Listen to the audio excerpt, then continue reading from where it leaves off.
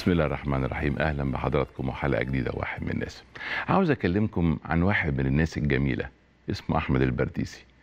في يوم أصيب أحد زملائه بفيروس كورونا ورفضت كل المطاعم المجاورة ليه إنها تقدم له الطعام. المشهد ده خلى البرديسي يفكر في مبادرته العظيمة اللي بيقدم فيها وجبات صحية مجانية لمرضى الكورونا وسمى المبادرة مطبخ كورونا المجاني. مبادرة جت في وقتها وفي عز احتياج مرضى الكورونا ليها مبادرة فيها تكافل رائع وإحساس بالرحمة والإنسانية. تعالوا نقول للبرديسي ألف شكر.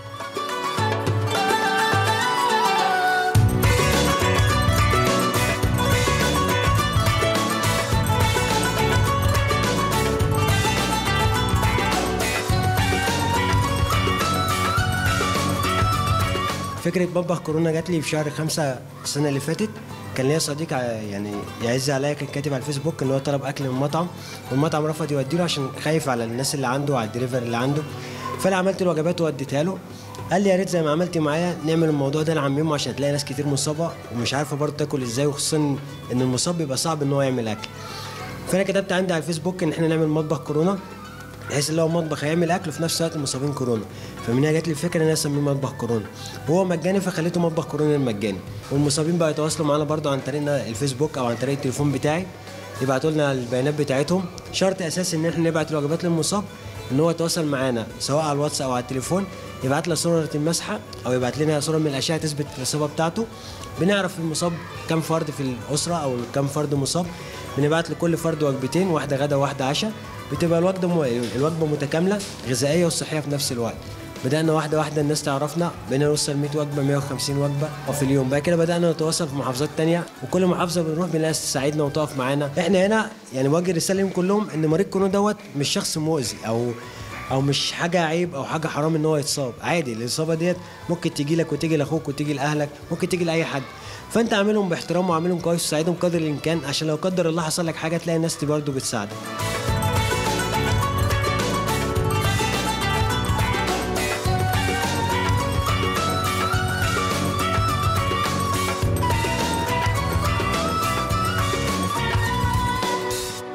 جات لنا رسالة من آه، السيدة منى حسين من حلوة يعني بتقول عندي 33 سنة متجوزة عندها ثلاث أولاد في مراحل تعليم مختلفة آه، بتحكي منا إنها بتعاني من تآكل في الأسنان في الفك العلوي والسفلي بالإضافة إلى نزيف مستمر في اللثة وده عامل لها صداع مستمر مش بيخليها تقدر تخدم جوزها وأولادها.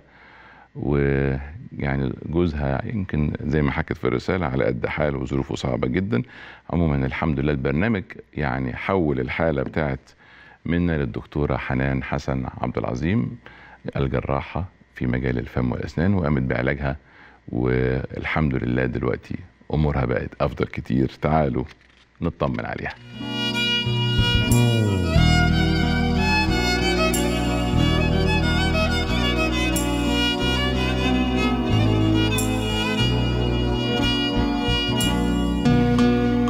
تواصلت مع برنامج واحد من الناس عشان أعمل اسناني لأن أنا عندي تآكل وتسوس في الأسنان عاملة لي نزيف ورحت لدكاترة كتير وتكلفة السنان عالية جدا وأنا يعني جوزي شغال يعني يوميات كده أرزقي على باب الله ومعيش التكلفة ديت إن أنا أعملها.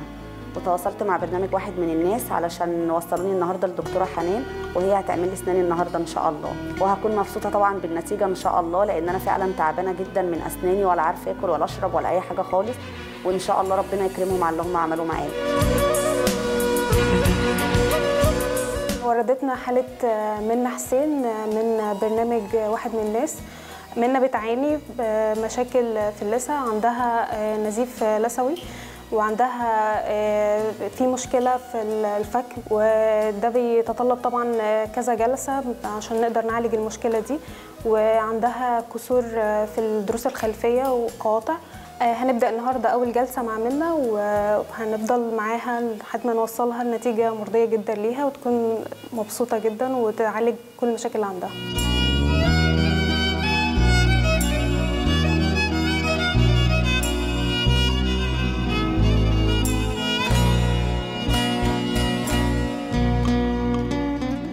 التعاون مع جمعية الهنا قدرنا إن إحنا نعمل اتنين بير مية لقرية السعودية بالعياط. وصلنا المية الحمد لله ل 30 بيت في قرية متاتيا وإحنا مستمرين في تنفيذ حفر الآبار وأيضا توصيل المياه بالمجان للأماكن اللي محتاجها. نشوف التقرير.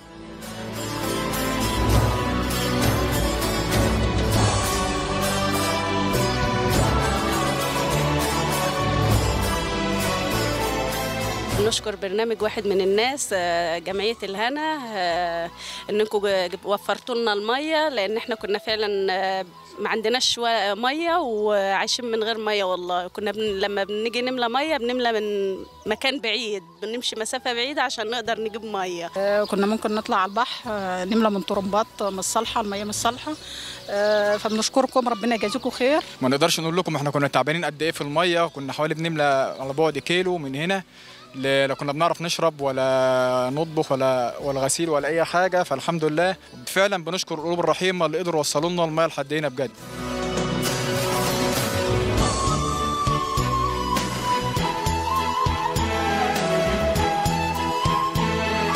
كنا بنملى من البحر وبروح نغسل من البحر يكفوكم شر المرض ويجازيكم كل كل خير ويكفوكم شر المرض.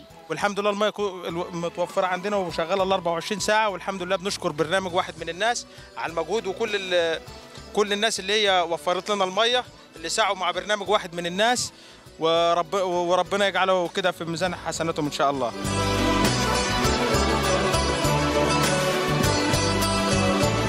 تم عدد حفر ثلاث أبار للمنازل المحرومة من المياه وتم عدد آه، حوالي من 20 ل 30 وصلة مياه آه، بقرية المتانية وقرية السعودية بالعياط. فطبعا الحمد لله بفضل الله سبحانه وتعالى ومجهودات آه، جمعية الهنا وبرنامج واحد من الناس والسادة المتبرعين قدروا يوفروا لهم المية وبنشكر كل من ساهم معانا.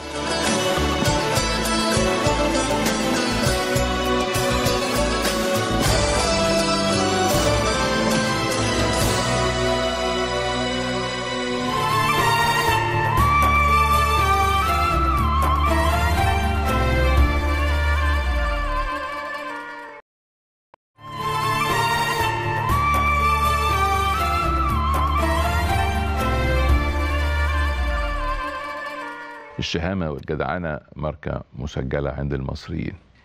الشهامة والجدعنة مش مجرد سلوك عفوي لكن أسلوب حياة وطريقة تعامل وثقافة متوارثة من أجيال لأجيال. النهاردة في واحد من الناس معايا نموذج رائع للشهامة والجدعنة. معايا إنسان ما فكرش في نفسه ولا في أولاده قدام خطر الموت. إنسان واجه الموت وجها لوجه في أصعب موقف ممكن حد يتخيله. كل اللي فكر فيه حاجة واحدة بس إزاي ينقذ أهل قريته من اشتعال سيارة مليانة بالبنزين. وحواليها كل الناس بتصرخ وتجري من الخوف والهلع. رمضان عمل إيه؟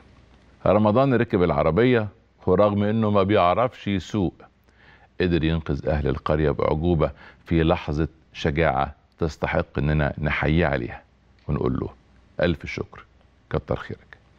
أهلا بيك يا رمضان في حبيب أهلا. بيك يا أستاذ عمرو. والحقيقة أنا فخور بيك وسعيد. بيك جدا.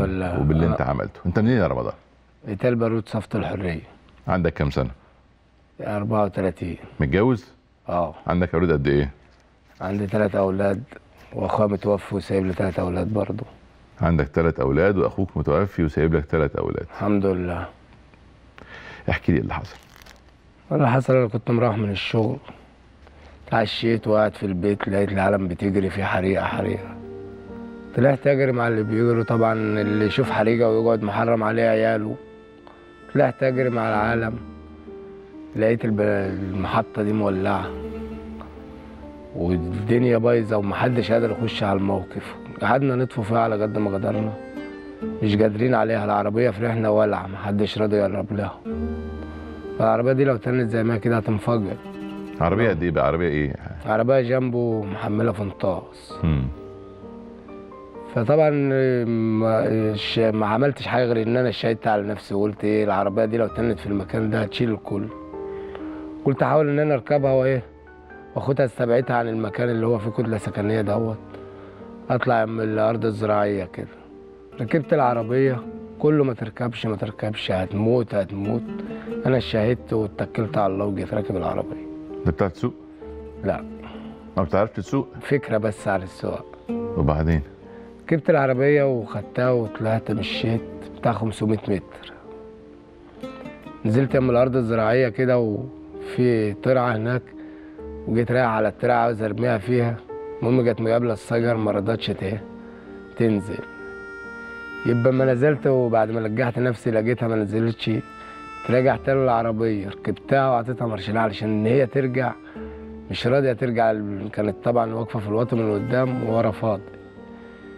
مرضتش ترجع المهم جم أهل القرية برضه جو العالم شايلين العربة. هتنفجر أنت بتعمل إيه؟ وجم شايلينه إيه؟ وجم راجعين بيا ورا. كانت جت طبعا رجال الامن وبتاع والعالم بتوع المطافي برضه مشكورين. ونزلوا علينا بالطفايات حاولوا إن هم إيه ربنا قدرهم وسيطروا على وجه المطفين. الطف يا رب. الطف يا رب. الطف يا رب. يا جماعة في صفة الحرية. الحقونا يا عالم. يا عالم. ولع روح راس السواق دورها وهي ولعة رايح انزل بقى في قلب البحر. حريقة ما اتوصفتش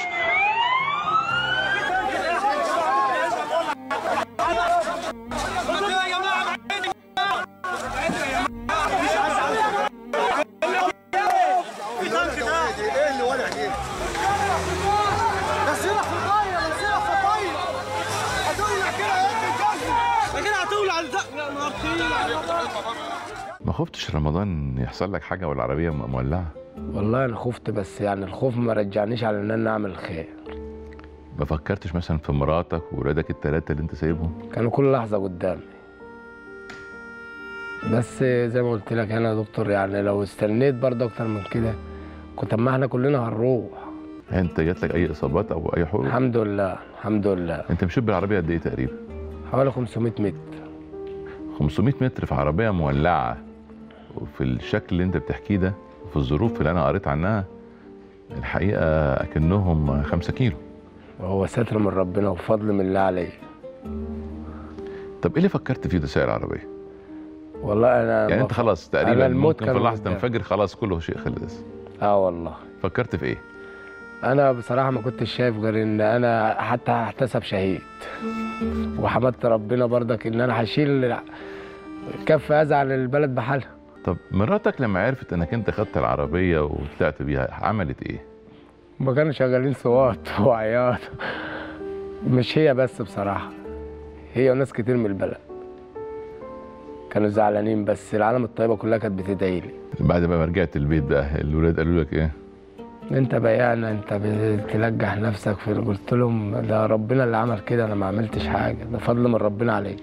الحقيقة كمان انت يعني وضحت لي دلوقتي جزء إنساني مهم جدا في حياتك الناس لله. لازم تخلي بالها منه إنك انت بتربي ولاد أخوك بعد الحادثة اللي تعرض لها.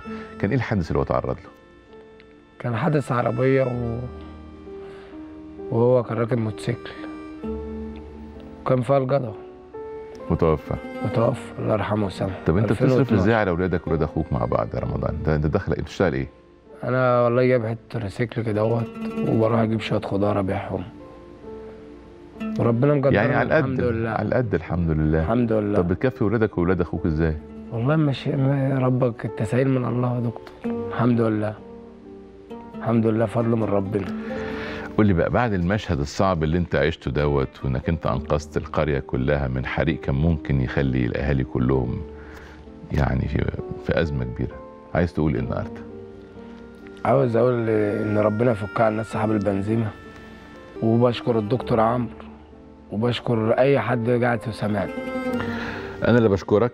أنت النهارده الحقيقة يعني اديت لك- كلنا درس جميل في الشهامة. الحمد لله. والمروءة. إنك أنت تضحي بحياتك عشان تنقذ قرية وتركب عربية وأنت ما بتعرفش تسوق. فضل من ربنا. عشان تاخد عربية عليها تانك بنزين مولع وأنت عارف إن نهايتك هتكون بعد ثواني. الحمد لله. فتستحق كل تقدير واحترام ويعني وشكر على اللي أنت عملته. وإحنا في واحد من الناس. جايبينك النهارده عشان كمان نكرمك ونديك درع البرنامج لأن درع البرنامج نزوج حضرتك. لناس الجدعان اللي زيك. ربنا يبارك اللي بيعملوا الخير.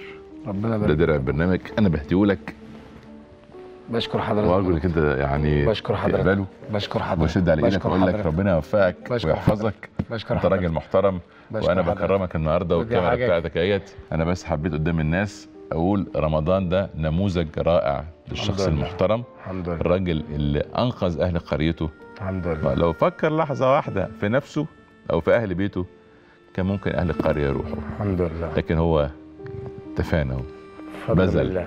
ودة. ما فكرش إيه اللي ممكن يحصل. ربنا يكرمك. أشكرك يا دكتور عمرو. نورتني وشرفتني. الشرف ليا. ربنا يخليك. انت واحد من الناس. المحترمين الله يبارك لك. ألف شكر الله. يخليك. السلام عليكم. مع السلامة.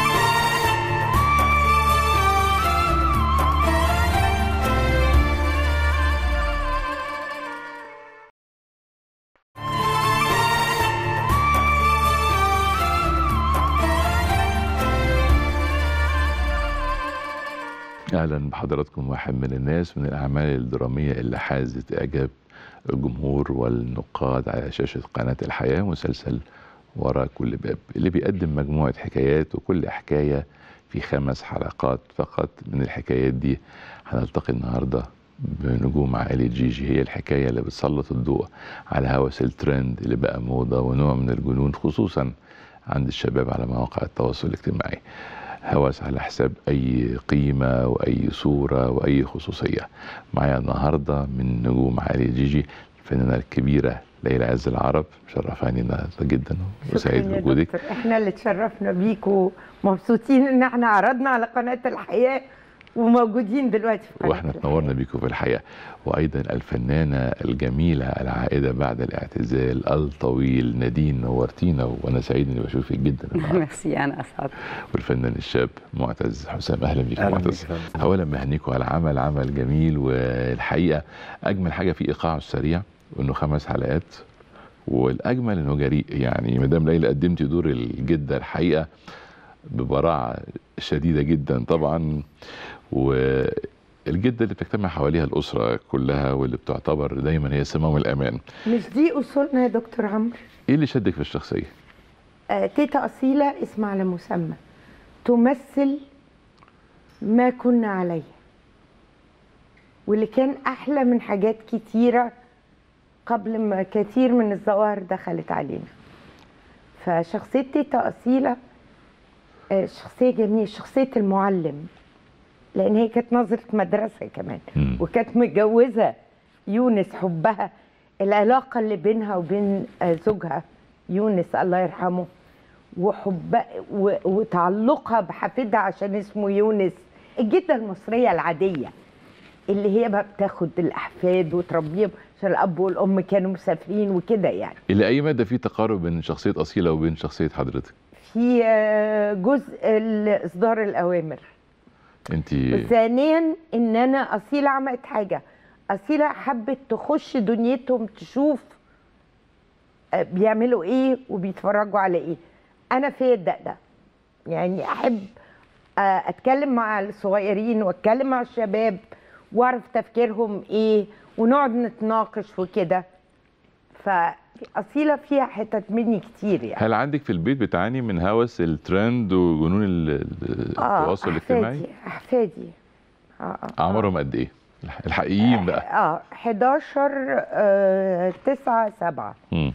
حضرتك لسه أنا ومامتهم النهارده بنتكلم على إن بقت صعب بالنسبة لها إنها تبعد عنهم الجادجتس التاب والموبايل وكده طول النهار يا مدرسة يا مبحلقين في في الأجازة. فكنا بن- بنشوف نعمل مؤامرة إيه عشان نبعدهم يعني. طب انت علاقتك إيه بالتواصل الاجتماعي؟ مش غاوية خالص. يعني أنا آه، نظرا لأن هي جزء من عملنا كفنانين لازم يبقى عندك تواجد على السوشيال ميديا. فبتفيلة أنا بعملها.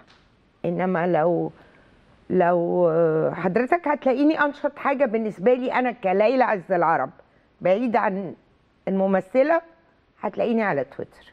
تويتر. آه. الحاجات بقى ال- كلها political religious اقتصاد آه، حاجات كوميكس كل حاجة. يعني تويتر بالنسبة لي هو أقرب شيء أقدر أنا كليلى أتعامل معاه. شخصية جيجي اللي عملتيها اللي بتشجع أولادها على استخدام ال social media بطريقة غير معقولة الحقيقة. هل فيها يعني في بينها وبين شخصيتك أي تشابه؟ لا كذابة بس. أنا كذابة. أنا بكره ال social media. أنا بكره التليفون أساسا بشخصه يعني التليفون ده أكتر حاجة متطوحه في البيت. ودايما عندي مقولة بقولها تجاه التليفون تحديدا. هو هو اتعمل عشان أنا لما عاوزه ألاقي الناس مش عشان الناس تعوز تلاقيني. فما بالك بقى ال social media اللي هي قمة التدخل في حياتك الشخصية. يعني أنا حتى على ال social media مش حاطة صورتي. آه أنا ما عنديش official account أنا في واحدة صاحبتي أشفقت عليا قالت لي لا أنا هعمل لك أنا official account قلت لها وشوفيه بقى و manage يه وعيشي حياتك لأن أنا I'm not interested أنا بشوف ال social media فيما يخص الفن بيقلب سلعة وده بيبوظ المزاج. فمش مش مطلوب ومش مظبوط. فيما يخص بقى الحياة الاجتماعية أنا شايفة إنه سقطت الأقنعة وحاجة الناس بانت وأنا كنت أفضل ما أشوفهاش. طب ولادك علاقتهم إيه بال social media؟ والله بص هو الشباشب شغالة في البيت الله ينور. شباشب. سيب التليفون سيب ال tab سيب المعرفش إيه. أنا بكرهه. في نفس الوقت مش قادرة أمنعهم تماما عشان ما يكونوش بالنسبة لأصدقائهم آه، آه، آه، ورا. آه، متخلفين عن رتم العصر. فأنا مضطرة ان أسيبهم ب limit لكن بتخانق كتير. يعني ما تحبيش تكوني ترند على ال social media؟ بكرهه. لا بترند ليه؟ أنا بترند في بيتي عادي بترند في الشارع بترند وأنا قاعدة معاكم. مش محتاجة ال social media عشان أنا بترند. معتز قدمت دور آه، زوج الفنانة الشابه هند عبد الحليم. مظبوط؟ حصل. آه، واللي كان معترض على عدم اهتمام مراته بمشاركته في تفاصيل حياته اليومية عشان هي مشغولة جدا بال social media. عملت إيه في الدور ده وتعاملت معاه إزاي؟ آه طبعا في البروفات الأول وإحنا بنحضر لشخصية حسن حسن ده شاب آه كان من آه عيلة يعني متوسطة شوية مش زي عائلة جيجي فكان ال- العيلة نفسها رافضة حسن في الأول لولا طبعا تدخل تيتا أصيلة هي شديده قوي تيتا خلي بالك لا، مؤثرة في كلمتها شخصية. أنا عايز أقول لك هي قاعدة شخصية يعني. فهي اللي ساعدت إن الجوازة تتم بين مريم وحسن. آه. فحسن زي زوج عايز مراته تبقى مهتمية ببيته وبحياتهم يخرجوا مع بعض يبقوا متواجدين. هي مريم سايبة البيت وقاعدة عند مامتها ومهتمية بالترندات. وحسن راجل عملي بيحضر الماجستير بتاعه وعايز يسافر بره ومهتم بشغله وهي مش موجودة. فحس إن البيت بيتهد وإن هو يعني البيت بيتفك خلاص مش موجودة. هي سايبة بيت جوزها وقاعدة عند مامتها واخواتها بالموبايل ليل نهار وكل ما يروح لها البيت هي قاعدة بتعمل آه آه ترند بتتكلم على مثلا product أو بتعمل حاجة. فهو برضو آه ضحى بشغله وضحى بمستقبله لما حس إن هي رايحه في خطر.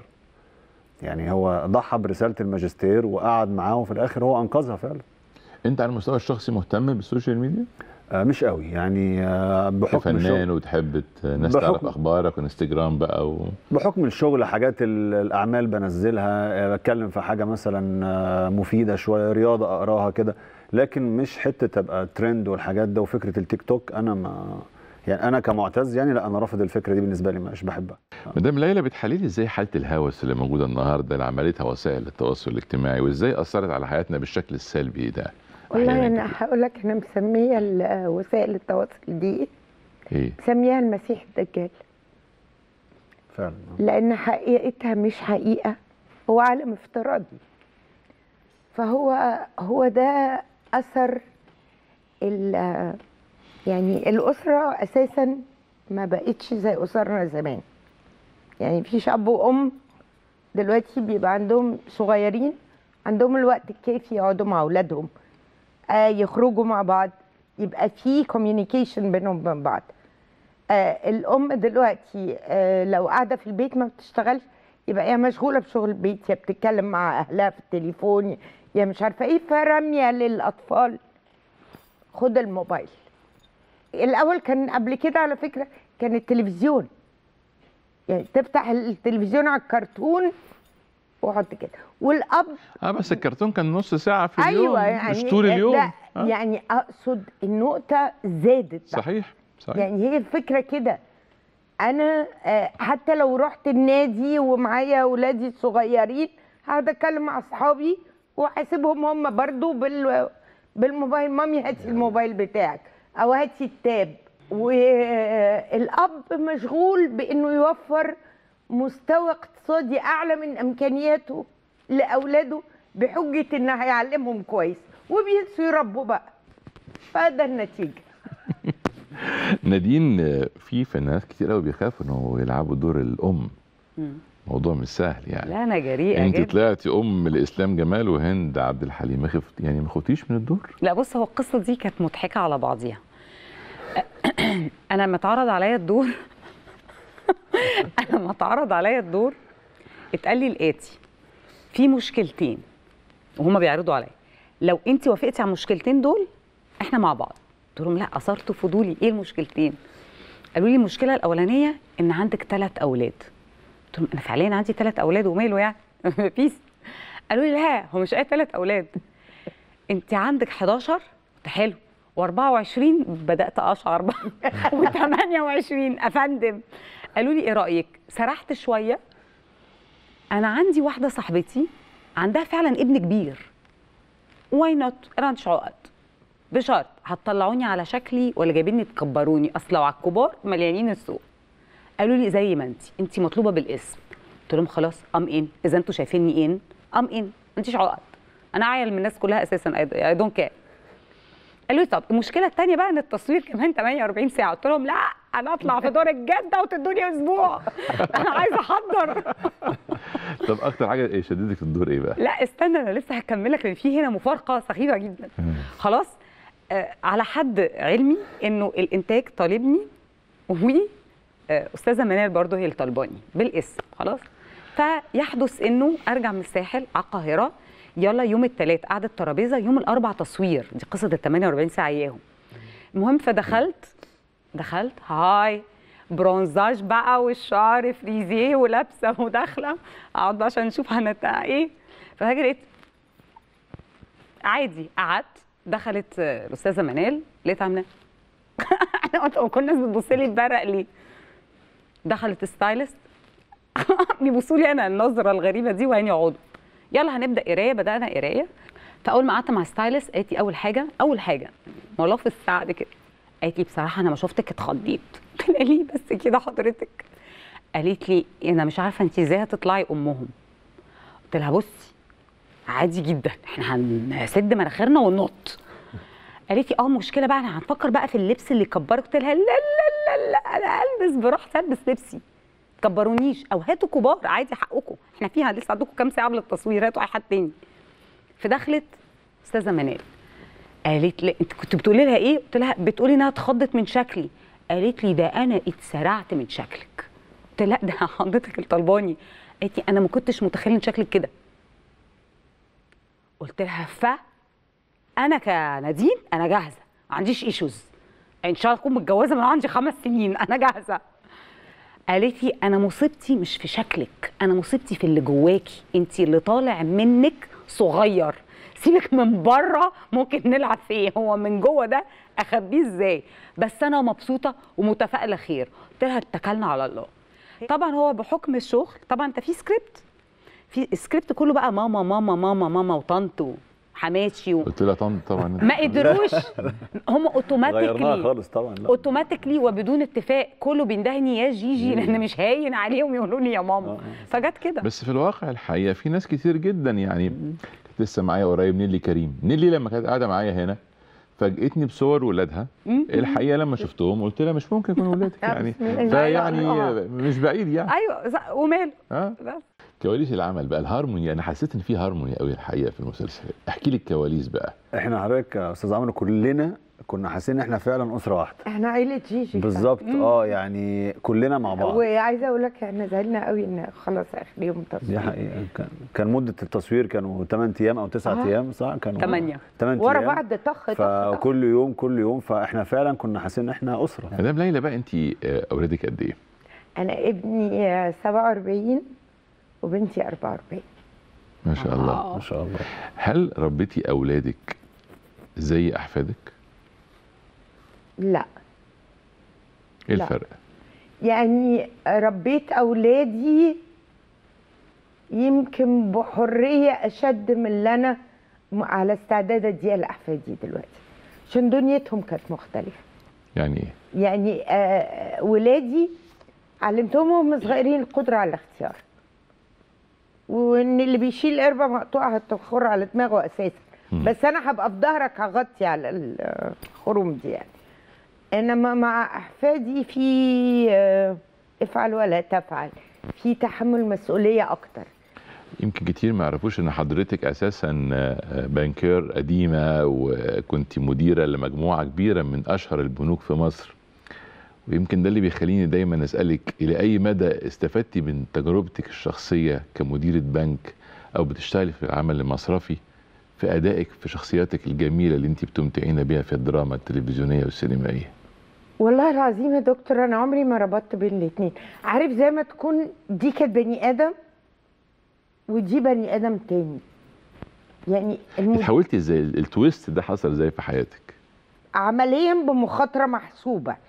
كنت ابتديت أزهق بقى. يعني كان بقى لي آه، آه، وقت طويل قوي شغالة آه، في الموضوع. وأنا أغلب خبرتي كانت ائتماني. فهو بقى اللي بتنام فيه بتصبح فيه. وأنا ما أقدرش على كده وما وأنا زيها ما أقدرش اقعد من غير شغل.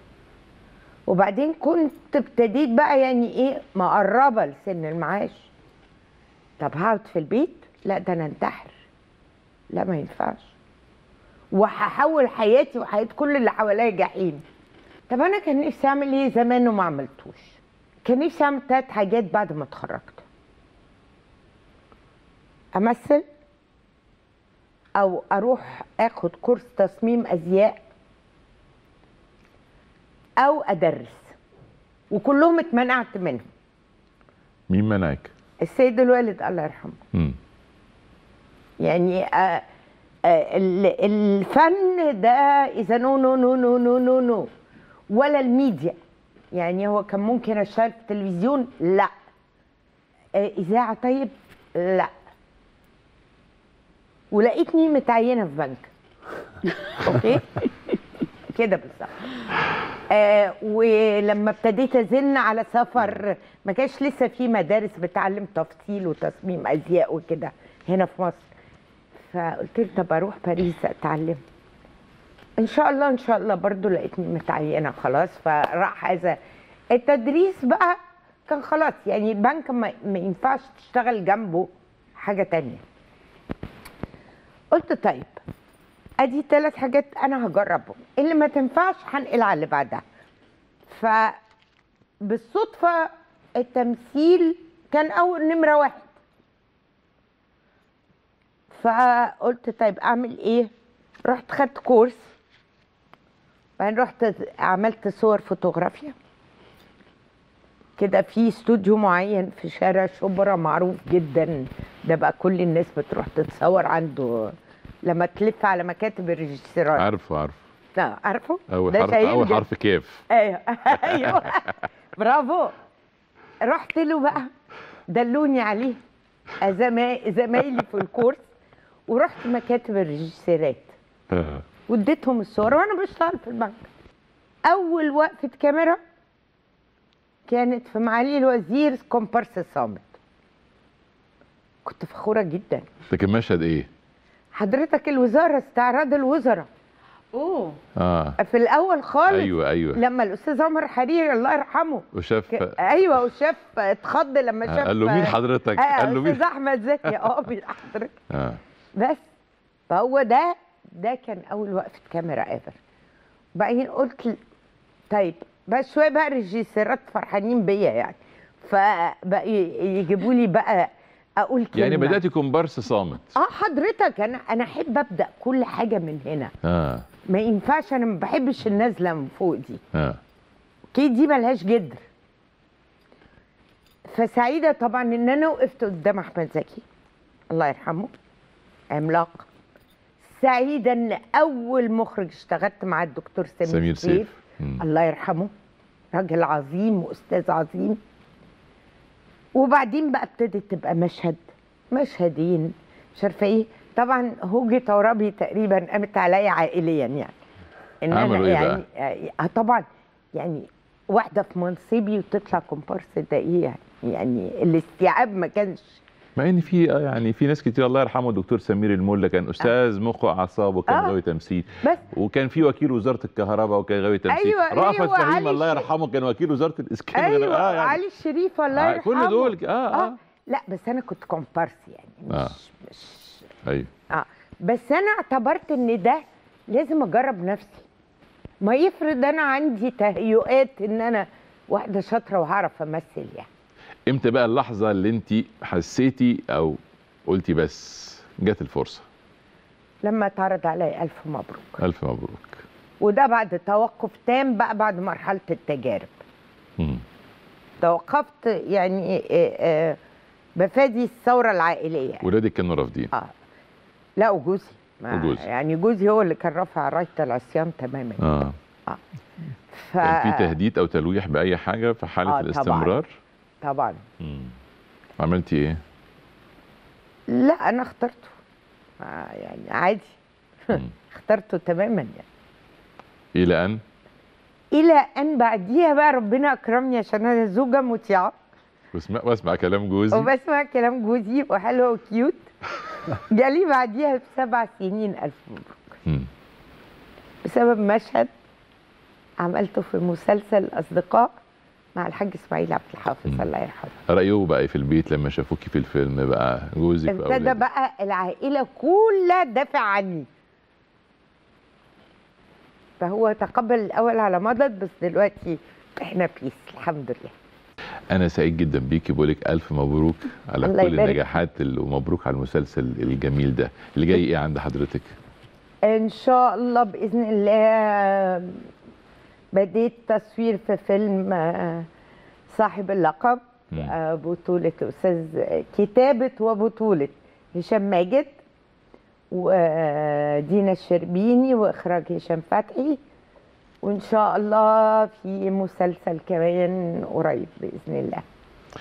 إيه بقى اللي جاي يا استاذه جيجي بعد النجاح اللي عملتيه. لا. رجعتي حطيتي جول أهو. شفتي بقى إزاي؟ غبتي غبتي عن الملاعب ونزلتي حطيتي جول هتعملي إيه بقى؟ آه، أنا دايما واقفة على اللي هيتقدم لي. دي المشكلة. فدايما مستنية حاجة تخطفني.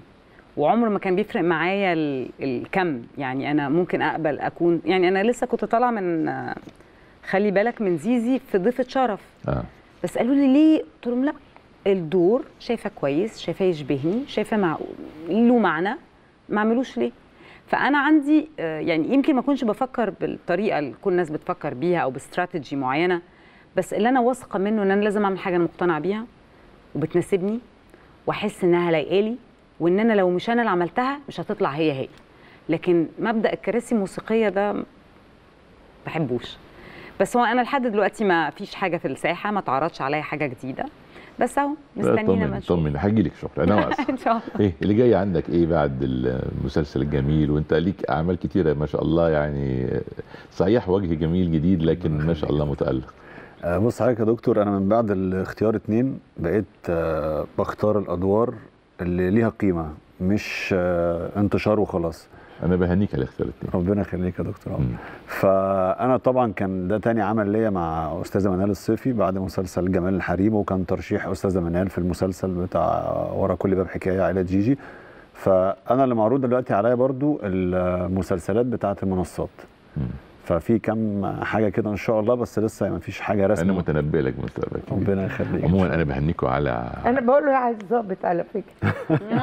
لا هو جميل جدا. والحقيقة آه. كل ال... يعني شفتي مجموعة الوجوه الجديدة اللي موجودة كلها في المسلسل كلها جميلة. لا رائعة. آه رائعة. أنا أنا كان نفسي تبقى معانا البنوتة الصغيرة اللي هي جيسيكا اللي قامت بدور شهد البنت دي أنا أتنبأ لها مستقبل خطير ما شاء الله عليها. مبروك يا مدام ليلى. الله مبروك يا يبارك في. حضرتك. مبروك ونورتونا في الحياة. أسعدتونا جدا بالمسلسل الجميل. متشكرين جدا. كان معكم أسرة مسلسل عائلة جيجي اللي ابدعنا في قناة الحياة في واحد من الناس. عايز أقول لكل الناس. حلقتنا النهارده خلصت قبل ما أسيبكم. عاوز أفكركم بحاجة مهمة جدا لازم تعملوها. الحاجة دي مش هتكلفكم كتير ومش هتاخد من وقتكم كتير. اوعوا تنسوا تقولوا لبعض كلمة حلوة. قولوا كلمة حلوة للناس اللي حواليكم. طبطبوا على مشاعرهم امسحوا دموعهم واجبروا بخاطرهم. خلي كل اللي يقرب منكم يقول عليكم إنكم نعمة في حياته ولعلمكم الكلمة الحلوة مش بتتنسي مهما طال الزمن. زيها زي الكلمة الوحشة. خليكم أنتوا الحلو في حياة اللي حواليكم. خلوا قلوبكم مليانة خير وحنية وحب. واوعوا تستنوا أي مقابل لأن المقابل هتلاقوه عند الأحسن والأكرم من الكل عند رب العباد سبحانه وتعالى. وأشوفكم على خير وصحة وستر وأمان. تصبحوا على ألف خير.